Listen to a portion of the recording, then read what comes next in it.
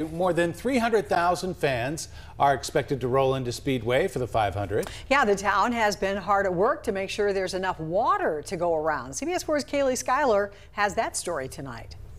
His specialty is which. Around 4 million gallons of water will be used in the town of Speedway on the day of the Indy 500. Make sure your water's flowing. For a town with a population of 13,000, that's much more than usual. Since drinks will also be flowing at the track, the town wants to make sure they're prepared. Well, I mean, if you can't go to the restroom, it's tar- it's hard to enjoy the race. So make sure like we have enough chlorine on hand, uh, reagents on hand. More than 300,000 people will be in Speedway for 500 festivities. Town manager Grant Kleinen says it is unique that their plant is rated for around 13 million gallons. So we take surface water off of Little Eagle Creek, but we also have wells and we use that groundwater. Kleinen says in 2017, around 4.5 million gallons of water were used at the track, but that number has dropped over the last few years. Have been some efficiency improvements out at the track.